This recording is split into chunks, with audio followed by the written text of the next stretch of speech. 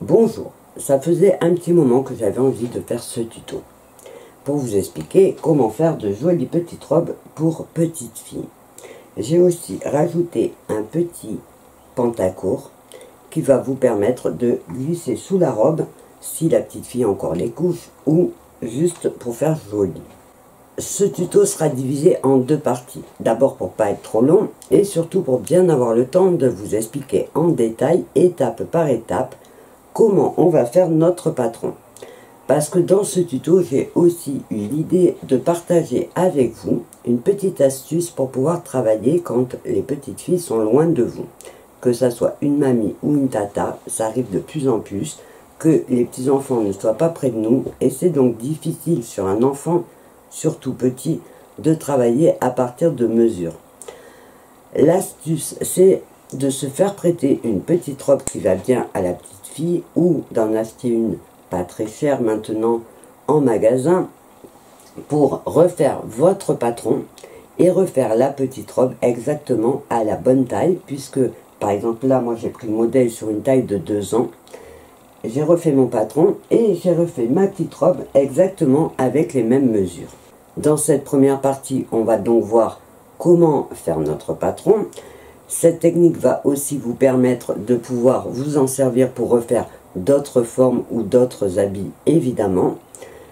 Alors, c'est pas très compliqué à faire. C'est un tuto qui peut s'adresser justement aussi aux débutantes, puisque dans la deuxième partie, je vous expliquerai étape par étape comment faire le montage, comment poser le biais autour des emmanchures et j'ai aussi préparé un petit tuto séparé pour vous expliquer comment faire les petites boutonnières pour mettre les boutons sur votre robe pour fermer au dos. Alors je sais que les machines à coudre font toutes les boutonnières en automatique, mais sur des tissus très fins, pour des boutonnières de petite taille, moi je préfère les faire à la main. Donc ça sera l'occasion de vous faire un gros plan sur la technique pour faire les boutonnières. Vous pourrez bien sûr remplacer les petits boutons par des pressions si vous voulez. Moi j'aime bien sur les vêtements enfants mettre des boutons parce que j'ai toujours peur comme les tissus sont légers que les pressions ne tiennent pas. Mais ça sera vraiment à votre goût. L'avantage aussi de ce petit modèle, c'est qu'il va vous permettre ensuite de pouvoir même faire des déguisements par exemple en changeant la couleur des tissus, vous pourrez par exemple faire la robe de Blanche-Neige, la robe de Cendrillon, vraiment la robe que vous voudrez. En fait, le patron va vous servir de base pour avoir les bonnes mesures et après pouvoir faire toutes les créations que vous aurez envie. Donc, dans cette première partie, on va voir ensemble comment faire son patron. On va donc prendre notre petite robe, je vais mettre le short de côté et je vais tout simplement, vous voyez, mettre la petite robe à plat sur ma table. Alors c'est évidemment une technique qui pourra vous servir à refaire des patrons, par exemple pour faire un pantalon de pyjama, pour faire un t-shirt, pour faire euh, un petit modèle que vous avez qui vous plaît déjà. Et donc on va prendre le papier calque. On va couper le morceau pour que ça soit pas trop grand.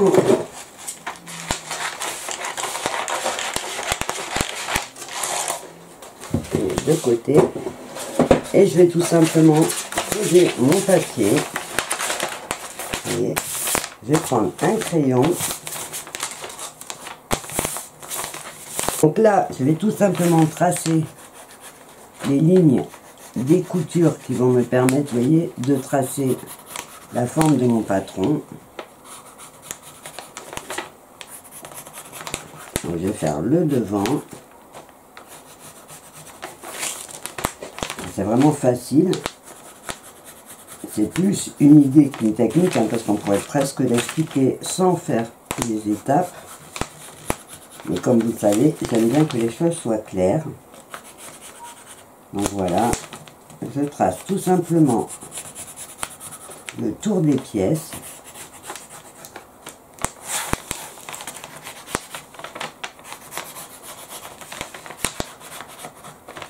Et là, donc la partie devant. Alors ce que je vais faire pour que ça bien, c'est que je vais plier en deux pour le découper en mettant, vous voyez, les pièces l'une sur l'autre. pour le faire bien asymétrique parce que vous voyez en décalquant des fois on a une épaule qui est un tout petit peu plus basse, un côté qui n'est pas pareil. Donc pour le découper, j'ai le pied en deux comme ça et je vais donc tout simplement découper ma pièce. Alors je fais attention de prendre mon ciseau pour le papier et je découpe donc tout simplement mon demi devant.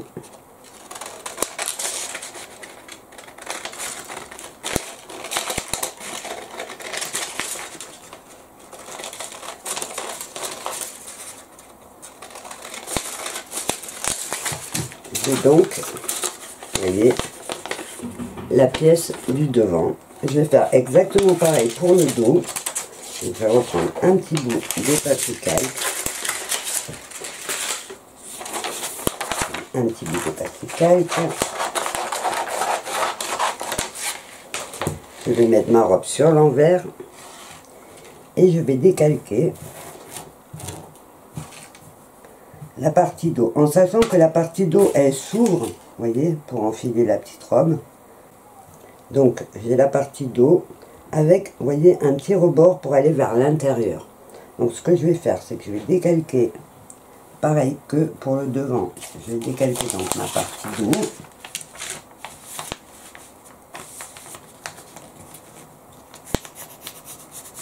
je trace le tour de mes pièces en sachant que pour faire propre, on posera un billet à l'encolure et aux emmanchures. Ça sera plus facile à faire, vous verrez, que en faisant un ourlet, parce que faire des ourlets dans les arrondis, c'est délicat.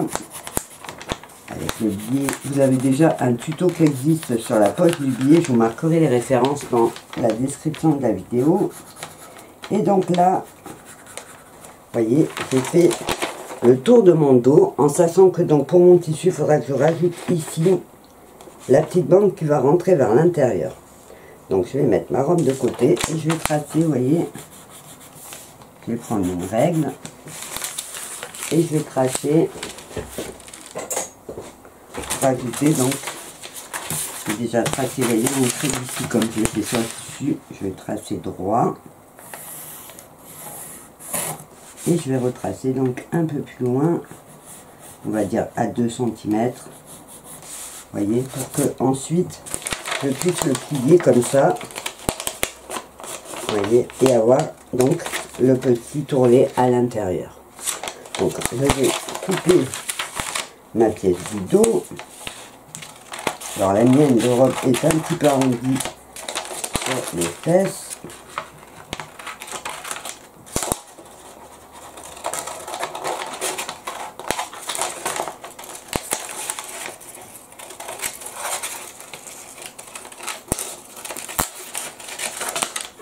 Et donc là, je vais couper au bord. Voilà.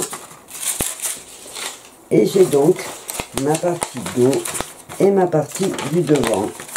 Alors un conseil, marquez sur vos pièces qu'est-ce que c'est, par exemple robe de Lola avec la taille pour vous rappeler si jamais vous en faites plusieurs, que vous avez plusieurs petites filles, pour pas mélanger, par exemple, les tailles, et pour vous rappeler, si jamais vous retrouvez la pièce toute seule, qu'est-ce que c'est. Donc, pour finir ma robe, il va me falloir la bande d'en bas. La bande d'en bas, je n'ai pas besoin de la tracer. En fait, ce que je vais faire, c'est que je vais mesurer, vous voyez, avec un centimètre. Je vais donc mesurer, je vais donc mesurer le bas, puisque c'est une bande droite en fait. Donc je vais mesurer le bas de ma robe, vous voyez, là j'ai 65, donc ça me fera une bande de 130 de long, et je vais mesurer la hauteur, et donc la hauteur de ma bande c'est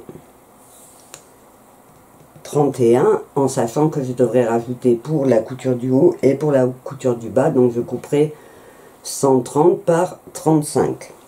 Donc à la limite je me le note sur un petit papier, et donc j'ai une bande pour le bas de 130 sur 35 pour une taille de 2 ans. Hein. Évidemment, si vous faites le patron avec la robe à la bonne taille, vous aurez donc vos bonnes mesures.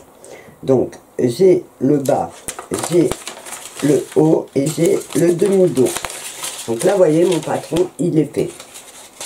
Pour faire le patron du petit short, ce que j'ai fait, c'est que j'ai pris tout simplement la taille de ma robe, voyez, j'ai pris la taille de la robe, alors je reprends un petit bout de papier